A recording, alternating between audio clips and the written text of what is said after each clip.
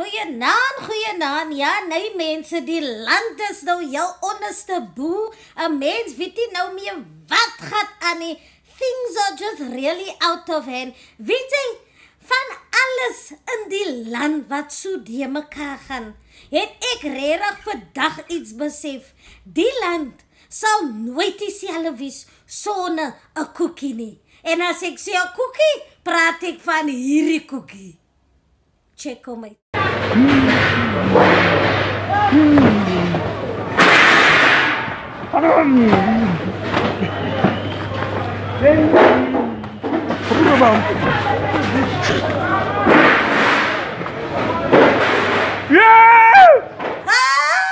Weet jy ek kan nie help om te lag nie. Uh, weet jy ek verstaan die dinge woes daar buite, maar jessie, weet jy daar's so manne wat hulle self beloof hulle gaan 'n stukkie van koekie kry en jy mos nou self gesien die way daai ou hy koekie byt. Ja, wat sal die lewe wees sonder 'n koekie? And I thank you. So vir julle wat so dinge wil afbreek. Nee man, wees kalm, drink 'n bietjie kalm tee. Daar's ginger tea, daar's alles wat 'n tee in die wêreld en vat 'n byt van koekie en jy sal baie rustig wees. So laat die land nou weer tot sy regte kan kom en almal wat nou nog lus het vir rap en roll Vat 'n byt van koekie en jy sal weer jouself, jouselfe calm person wees and I thank you from Minister Cookie herself tonight.